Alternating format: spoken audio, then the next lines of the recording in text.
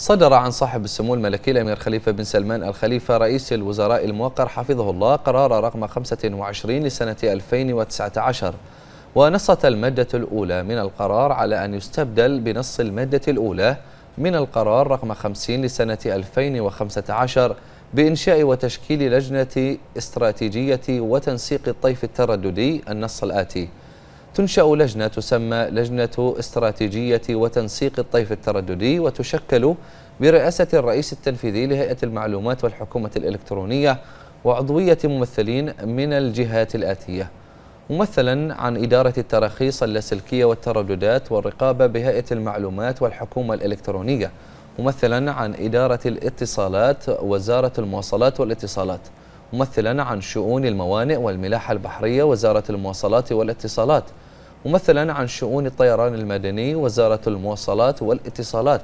ممثلا عن هيئة تنظيم الاتصالات وممثلا عن جهاز الأمن الوطني وممثلا عن قوة دفاع البحرين وممثلا عن وزارة الداخلية وممثلا عن الحرس الوطني وممثلا عن وزارة شؤون الإعلام وممثلا عن الهيئة الوطنية لعلوم الفضاء.